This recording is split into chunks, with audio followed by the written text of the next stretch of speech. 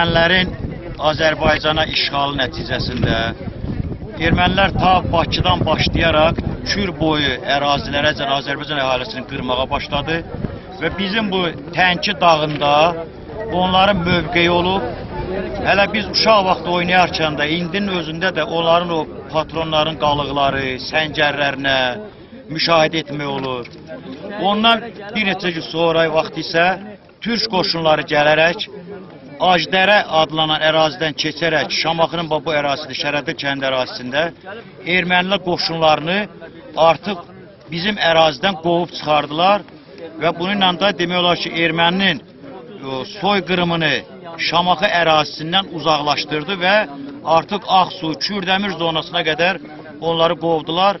Ta bizim Azərbaycan ərazisindən çıxartmağa müvəffəq Bu oldular. kənddə bu ərazidə Və həmin bu dayandığımız- ölümü faktı nə qədər Bax indinin dəfn özündə də bizdə əvvəl bu kənd Ağsu rayonuna e, tərkibində olub. Orada arxivləri gedib şəxsən mən özüm direktorluğunda araşdırmışam. 20-yə qədər Azər bizim kəndimizin adını, əhalisinin adından orada rast gəlmək olur 20-yə qədər. Və hətta ağsaqqalların dediyinə görə ermənilər kənddə xəstə adamlar qalıb qaça bilmirlər.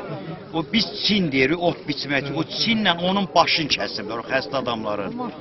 Evlərin dirəklərin söküblər, o pərdələrin söküb yandırıb burada onların bir neçə vaxt mövqeləri olub Diridir yandırıblar. Diridir yandırıblar. Xəstə mənə deməli rəhmətli Muradxan kişi vardı. O deyirdi ki, onun qardaşı olub xəstə, qaça bilmir. Qa- O evdə qoyub onu qaçıb gediblər və onların başlarını kəsiblər. Mənim elə 90 yaşında anam var, indi kənddə yaşayır, Allahım ömür versin. Onun elədiyi söhbətə görə ermənilər deməli e, xəstələri kəsiblər, kəsmədikləri o evlərdə yandırıb çıxıb gediblər. O qədər vəhşi hərəkət edib ki, onların o vəhşiliyi hələ də bizim ilə yaddaşımızda qalıb və onları indi Şamaxıda abidə ucaldılıb. Allah prezidentimizə can sağlığı versin ki, bu soyqırımı əbədiləşdirdi. Bizim rayonumuzda da həmçinin bu əbədi soyqırım e, abidəsi qoyulmuşdur. Sağ ol. 18-ci ilin mart ayında 3 mərhələdə soyqırım həyata keçirildi. Birincisi Aqsu istiqamətində 400 erməni əsgəri Kürdəmir stansiyasına e, düşərək Şamaxıya doğru hərəkət edəcəklər. Orada Bizo kəndi var. Bizo kəndi yaxınlığında yerdə əhalini soymaq istəyərkən qarşı durma olur. Hər tərəfdən itki olandan sonra ermənilər Bakıya xəbər edirlər. 3000 erməni daşnaq ordusu Şamaxıya gəlir. Və biz dayandığımız ərazidə o qırğınların keçdiyi 86 kənddən biri bu Şərədil kəndidir.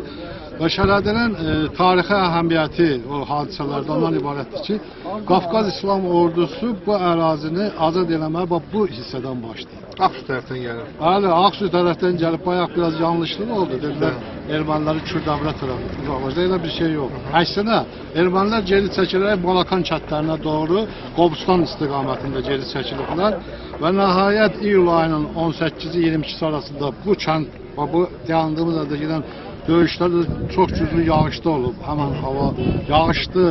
Leysan gedən bir vaxtı çox güclü döyüşlər olub və e, qardaş Türk ordusu, İslam e, Qafqaz İslam ordusu və Azərbaycan Milli Ordusu birlikdə Şamaxını iyulun o- 22-sində azad.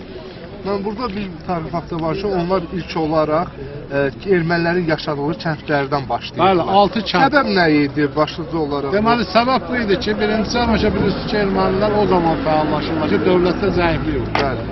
Yadınıza gəlsə 17-ci il fevral burjuya inqilabından sonra, çar devriləndən sonra orada müvəqqəti hökumət dövründə boşluq var idi. Bu boşluqdan ermənilər istifadə edib e, vətəni olmayan bir xalqdır.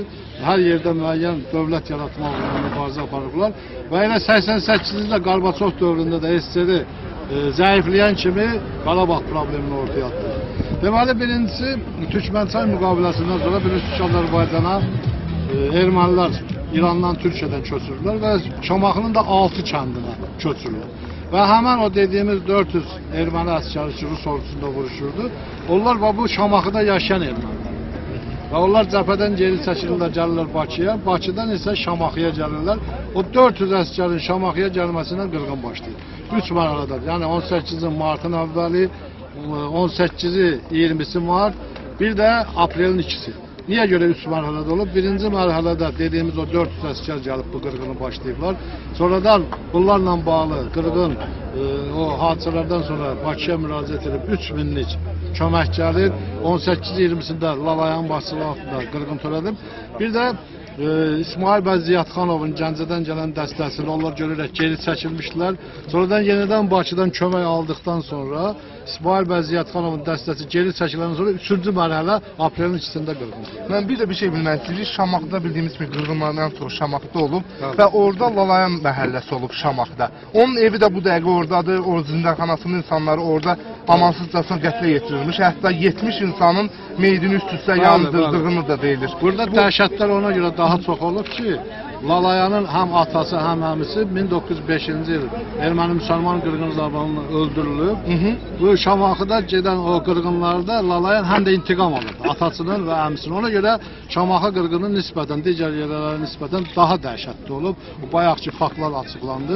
Ondan da dəhşətli faktlar olub ki, bu da birbaşa Stefan Lalayan. Mən bir faktı da sizə deyim ki, bilirsiniz ki, Qafqaz deməli Azərbaycan Xalq Cümhuriyyəti Fövqəladə İstintaq Komissiyası Şamaxının 53 kəndində tədqiqatlar aparır və bunun nəticəsində 100 cinayətkar aşkarlanaraq həbs edilir.